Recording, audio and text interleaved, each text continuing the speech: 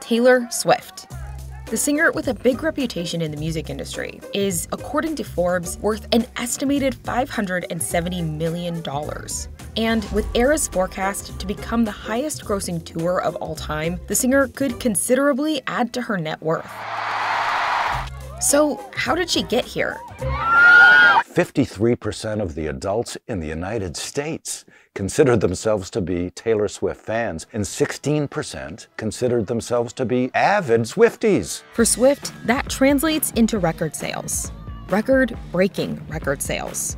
Her 10th studio album, Midnights, released in October 2022, sold 1.6 million albums in its first week, according to Universal Music. That makes her the one and only artist to ever have five albums sell over 1 million copies in its first week. The resurgence of vinyl records has also played a role.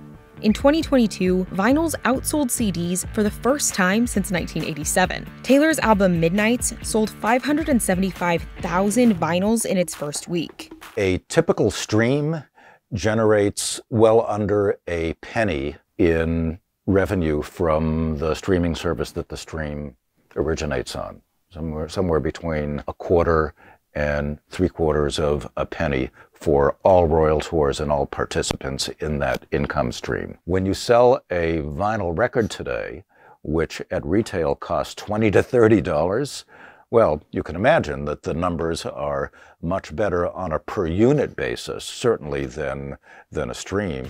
Still, streaming has significantly contributed to Taylor's wealth. According to Universal, the singer has 36.6 billion combined streams of her music.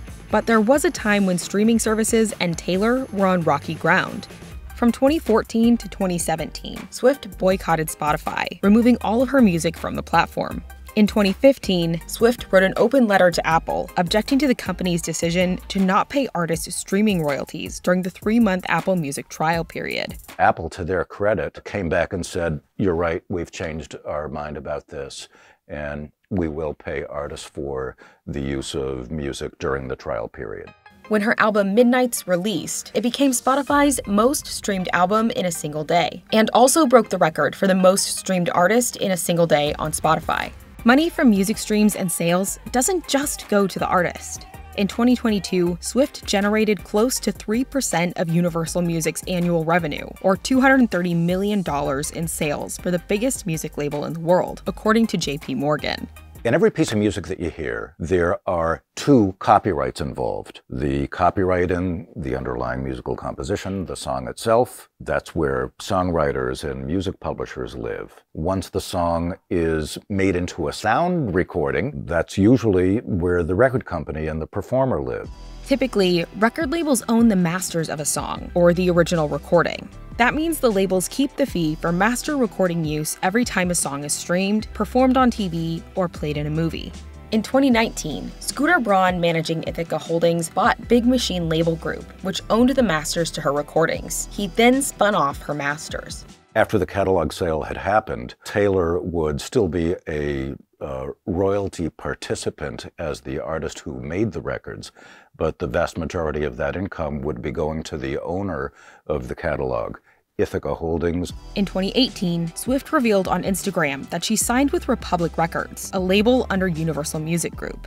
As part of the deal, Swift said she would own her future master recordings, and her contract with her previous home, Big Machine Label Group, allowed her to re record her old songs. In most traditional artist agreements, most artists are barred for a really long period of time from re-recording their original works. Taylor, as her career became the fantastic juggernaut that it did, gained a tremendous amount of leverage in the deals that she was able to make while still on Big Machine. I'm not sure if the provisions allowed for her to re-record within a very short period of time after a sale or not, but uh, we do know that the period was very truncated, much more than it normally is for the conventional artist deal. So far, Swift has re released her albums Fearless and Red as Taylor's version, both making it to the top of Billboard charts and selling more album units in the first week than their original releases. For any sales of these, Swift receives the artist and master's share of the song revenue. It was to Taylor's benefit to be able to maximize her income and give the fans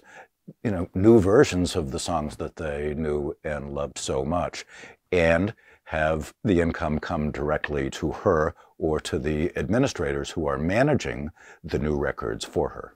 Then, of course, there are Taylor Swift's tours. When the Taylor Tour went on sale, it broke the internet and it broke Ticketmaster's system.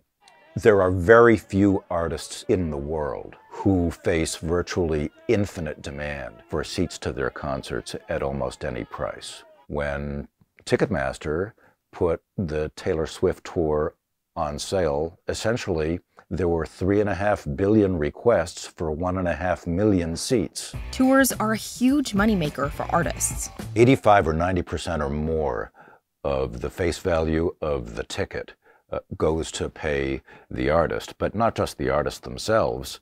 I mean, to put a big tour on the road is really expensive. So it pays for the artist and everyone in the artist's camp, from everybody you see on stage to the people who move the equipment in and out, to the people who operate the sound and lights, to the people who drive the trucks and fly the planes around and negotiate the deals. But overwhelmingly, most of what the ticket price goes to is to pay for the artist. And the Eras Tour could gross $728 million, according to concert data tracker Pollstar, which also predicts that the tour could set the record for the highest grossing tour in a calendar year.